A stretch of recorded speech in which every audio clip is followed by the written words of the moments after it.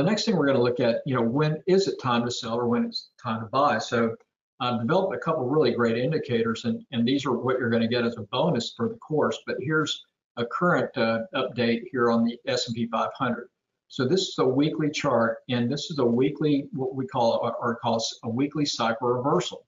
All right, so this is based on this indicator, which uh, shows you extreme ranges. So this is like a 20 period moving average. And then this is a normalized move, this white line. When you when we get to the blue line, that's getting very extreme or very stretched to the upside.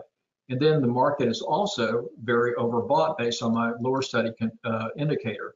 So you can see then when this uh, indicator crosses over, like where that arrow is, boom, you get that magenta arrow, and that is an indication or signal to give us alert to the probability of this market starting to roll over. So you can see it's been overbought for a considerable period of time. So we, we had, so typically uh, also, what I'll do with the, when we get a really strong market, I'll wait for at least uh, two of these arrows, and a lot of times we might get three. But when we get the third one, that's a high, high, high probability that the market's going to stall. So you can see here what happens. You get exhaustion. Buyers are exhausted, uh, and it's like musical chairs, and everybody, you know, potentially starts selling when there's some kind of news, which happened Friday. So you can see another one back here, came up here, stalled out, reversal there, goes down. Now here's a reversal to the upside, okay? And then we had a beautiful trend. So these are two indicators that I put together really helps you kind of navigate in and out. So that's, you know, S&P 500 on the weekly. Here's another example. Here's a risk current QQQ on the weekly.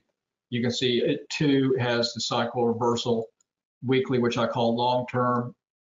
You can see here crossing over and see what it did, just went sideways and now it's starting to kind of crumble a little bit more. So we'll see what the extent of this uh, pullback is. And then you see a reversal to the upside was right there.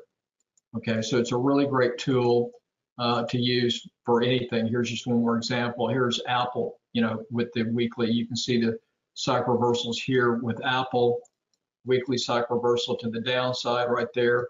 Currently, we've got a weekly cycle reversal to the upside on Apple, which I'll show you in a minute but just a really great tool for timing your cycles in and out of a trade.